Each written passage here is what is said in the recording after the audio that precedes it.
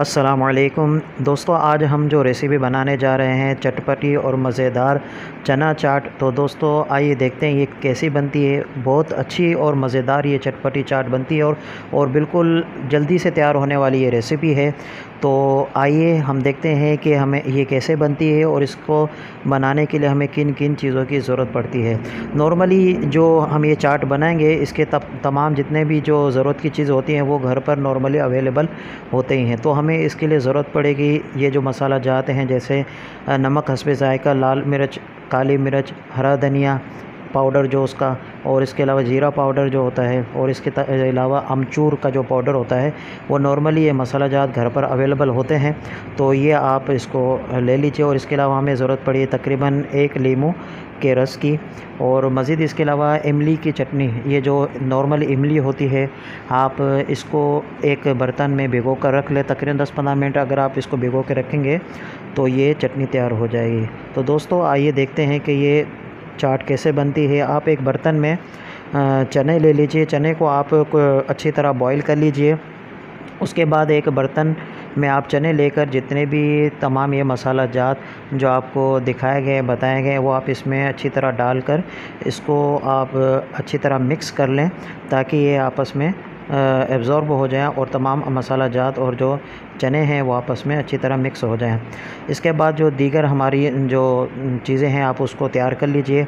तो हम अभी पुदीना है, उसको हम पुदीने के जो पत्ते हैं, उसको आप काट लीजिए।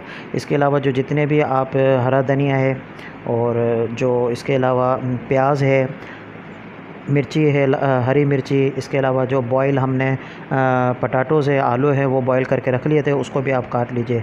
तो जैसा कि आपके सामने हमने हरा धनिया, उसको काट लिया, इसके बाद हम सॉरी पुदीनों को हमने काट दिया, अभी हमने हरा धनिया है, उसको भी हमने इसको बारीक काट लिया इसके अलावा अब हम जो हरी मिर्च है, इसको काट लेते हैं। ये आपके टेस्ट के मुताबिक है कि आप कितना स्पाइसी आप इसको बनाना चाहते हैं। तो हंसपे ज़ायका, आप इसमें जो ज़रूरत की चीज़ें आप इसमें ऐड कर सकते हैं। तो अब इसके बाद जैसा कि आप देख रहे हैं कि हम प्याज है, इसको हम बारीक काट रहे हैं। अब हम इसमें हमने जो ये इमली है, इसको हमने यूज़ किया है। ये ऑप्शनल है, नॉर्मली ये यूज़ तो नहीं होते, लेकिन हम इसमें यूज़ किया है चाट में, इसके टेस्ट में मज़ीद अच्छा हो जाएगा ये। अगर आप चाहें तो इसको यूज़ कर सकते हैं, अगर ना चाहें तो आप इसको रहने दें। इसके बाद हमने जो टमाटर है, उसको भी हम बारीक काट रहे हैं। ये तमाम जितने भी चीज़ें हैं, आप इसको काट कर चाहें तो आप एक साथ इसमें ऐड कर सकते हैं। चूँकि हम जैसे फैमिली के अतबार से घर पे बन रही है तो हम तमाम अज़ा को ये एक साथ ही इसमें ऐड कर लेंगे। अगर अदरवाइज़ आप किसी मेहमान के सामने सर्व कर रहे हैं तो आप इसको अलग अलग आप इसमें डाल सकते हैं ताकि जिसको हंसपे ज़रूरत, जो चीज़ ज़रूरत हो वो इसमें ऐड कर लें। तो आपके सामने है टमाटर काटने के बाद जो हमने बॉयल पटाटो किए थे, इसको आप इसको काट लीजिए। ये तमाम जितनी भी चीज़ें आपके सामने हमने इसको बारीक काट दिया है। और अब हम तमाम ये चीज़ें, जो चना, जो बॉयल था, जिस बर्तन में हमने ऐड किया था, वो हम उसमें डाल देंगे। तो जैसा कि आपके सामने हमने जो लीमू का रस था, वो हमने चना में ऐड कर दिया है और हम इसको हम मिला रहे हैं ताकि ये भी अच्छी तरह इसमें मिक्स हो जाए।